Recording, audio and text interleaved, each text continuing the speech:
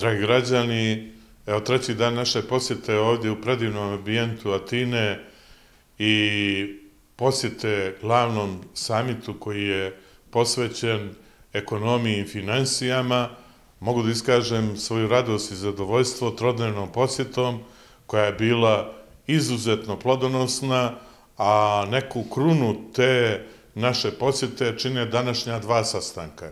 Jedan sa predsednikom e, Skupštine Grčke i drugi sa uvaženim premijerom Mitsotakisom. Oba dva sastanka mogu da se svedu na iste poruke. Grčka potpuno stoji u Crnu Goru, radujući se njenom putu ka Evropskoj uniji. Pružit će snažnu podršku, pogotovo investitorima koji će više biti prisutni iz Grčke na prostor Crne Gore.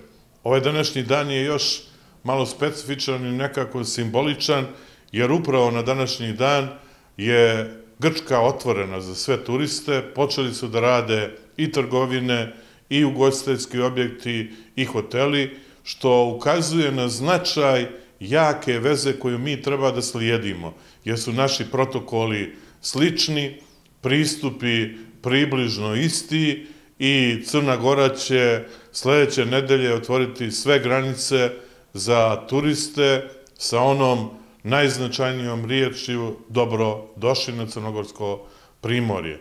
Pored ovih e, izuzetnih, optimističkih podrški koje smo dobili, ukazano je na činjenicu da Crna Gora je lider na Balkanu, da treba da ostane i da ćemo imati podršku grčke vlade, grčkih biznismena i naravno svih onih koji žele da pomognu Crnoj Gori.